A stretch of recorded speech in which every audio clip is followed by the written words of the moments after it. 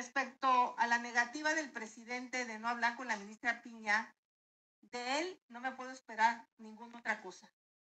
Pero de la virtual presidenta electa lo lamento, porque ella en su discurso de triunfo habló de diálogo, habló de escuchar. ¿Qué se puede esperar cualquier mujer de ser escuchada si la presidenta de la Corte no es escuchada?